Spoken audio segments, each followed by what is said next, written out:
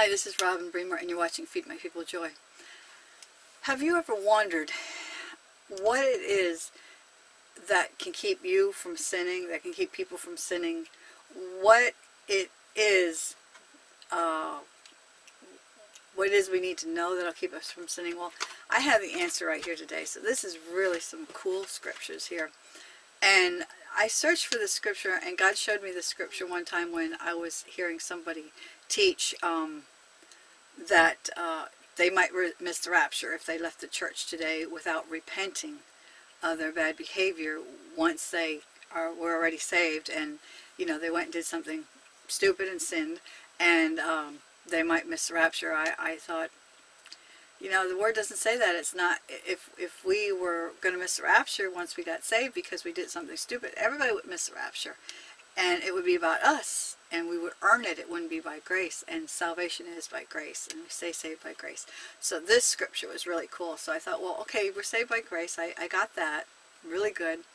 But if we're saved by grace, then what would keep people from deliberately sinning, knowing that they're going to go to heaven even when they mess up? So God showed me this scripture and I got really excited. And it is um, Titus 2.11. For the grace of God that brings salvation has appeared to all men, teaching us. Get that? The grace of God teaching us that denying ungodliness and worldly lusts, we should live sober, righteously, and godly in this present age so that gives us the answer. Let's see what the rest of it says. Looking for the blessed hope and glorious appearance of our great God and Jesus, our Savior Jesus Christ, who gave himself for us that he might redeem us from every lawless deed and purify him for himself, his own special people, zealous of good works. Okay? So, you know, he's the one that took away and purified us with of every lawless deed by dying on the cross for us and paying the penalty for our sin. But right here it says that the grace of God teaches us how to behave, not the law. The Bible says that the law, Paul talks about the law, and that the law um, shows you you're a sinner and you're sinning. And it was a tutor to bring us to faith to Christ. And now that Christ is here, we no longer need the law. Um, that it's by um, uh, it's by faith. It's all by faith.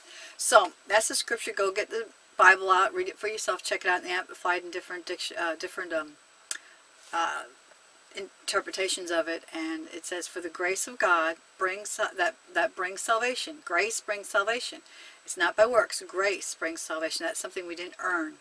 That it's unmerited. It's unearned, undeserved. Okay, uh, teaching us Okay, so the grace of God teaches us how to behave right. So my name is Robin Bremer. That's first, I mean that's Titus 1, uh, 2, 11. And uh, you're watching Feed My People Joy, and you can get on my website, robinbremer.net. And check out some of my illustrated teachings, my video podcasts, some my clowning stuff, and fun stuff. And I'll talk to you tomorrow.